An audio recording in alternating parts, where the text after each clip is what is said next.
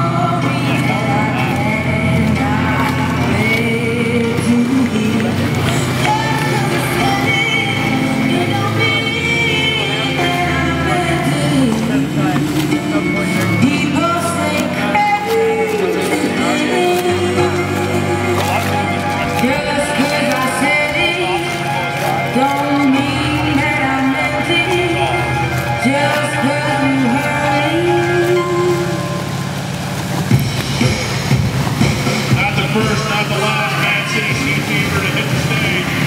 Let's welcome back the Astrology.